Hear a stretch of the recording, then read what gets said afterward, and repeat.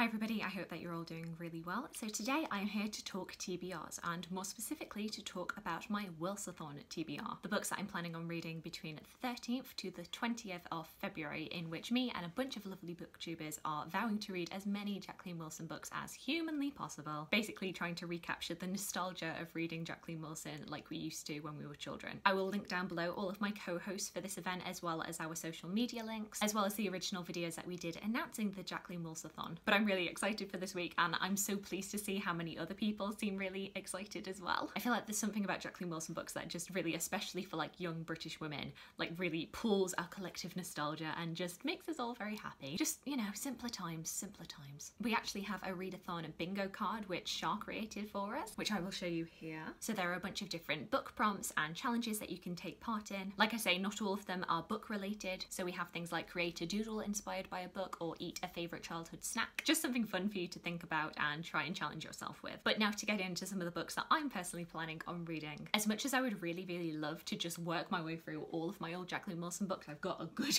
a good number of Jacqueline Wilson books. I don't think that's going to be possible for this week. Coincidentally, I've got some fun, exciting life things that are happening actually in that week, which maybe possibly might derail my reading productivity. But I do want to make a good go of trying to read as many Jacqueline Wilson books as I can. I don't want to abandon my co-hosts at all. So whilst this isn't all of the books that I would like to read and maybe is not going to fulfill every single prompt on our bingo card, this is like my minimum that I would like to get to. Now I did mention in the Wilsathon announcement video that all of us were planning on reading at least our old favourite book from Jacqueline Wilson and that we would do a short little review of it. And I mentioned in my announcement video that the one that I was planning to read was The Lottie Project. This is a book all about a young girl called Charlie who gets a new teacher who she really does not like very much. Her teacher refuses to call her Charlie, instead calls her Charlotte, which she hates because she thinks that Charlotte is a boring name to which I'm like, rude. But she does start getting more engaged in her history classes, particularly as her new teacher sets them a new history project to focus on the Victorians. And for her project, she decides that she's going to write a fictional diary about a young girl called Lottie and her experiences growing up and coming of age as a domestic servant in a wealthy Victorian family's home. So you might be able to tell there are a few things that kind of ticked boxes for me when I was little. The main character called Charlotte, who through the course of the book gets more and more engaged in history. The older I get, the more that I think that this was the book that kind of got me into history myself so I'm definitely wanting to read and review this full Wilsathon. So that's the one book that I've got on my TBR pile at the moment that I did already know about, that I had read previously. However, what really got me excited about the idea of doing this readathon was the idea of being able to read some of Jacqueline Wilson's newer books that I never got to, things that were published when I felt like I was just a little bit too old to read Jacqueline Wilson. So actually the last three books that are on my TBR for this week are new things that I've never read before. Firstly, the one that I do have to hand is her newest book, Love Frankie, which has created a little bit of buzz recently because it is one of Jacqueline Wilson's first books exploring sexuality. And in this book, we see young Frankie, who is 14 years old, who is coming to terms with the fact that she might, in fact, be gay. And can we just have a moment for this gorgeous, gorgeous cover and the fact that when you lift up the dust jacket, you got a rainbow flag! Yay! A couple of my co hosts have already read Love Frankie and have highly, highly praised it, so I'm really looking forward to reading this. And then the two other books that are on my TBR pile for this month are books that I am actually checking out as ebooks from my local library, and they are the two books in the My Mum Tracy Beaker series. So the chances are, if you've heard of Jacqueline Wilson before, the character that you most associate with her is Tracy Beaker. She's definitely Jacqueline Wilson's most famous character. There were already three books in the original Tracy Beaker series, there were multiple TV shows and a film, and in the past few years, Jacqueline Wilson has chosen to revisit Tracy, but this time as an adult, and not only that, but as a mother, and giving people of my generation who grew up with Tracy Beaker the opportunity to see her as the adults that we have somehow weirdly become. So I really want to try and get to My Mum Tracy Beaker and the sequel We Are the Beaker Girls. And this readathon could not have come at a better time because actually the television adaptation of My Mum Tracy Beaker is coming out in this week. It's got the original actress who played Tracy Beaker, Dani Harmer, coming back to reprise her role. Apparently we're going to see Justin Littlewood again and Cam, and it's going to be released between the 12th and the 14th of February, so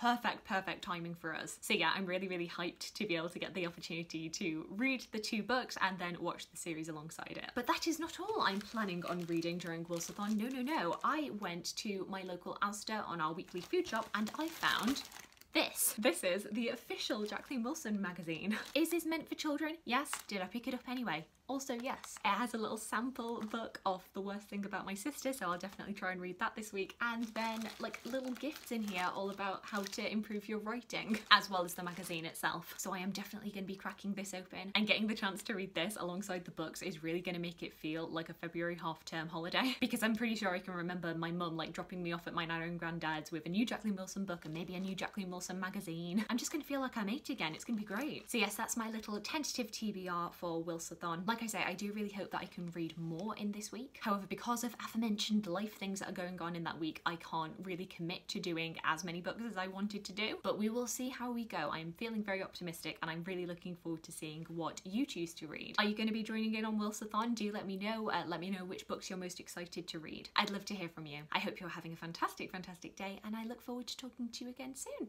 Thanks. Bye.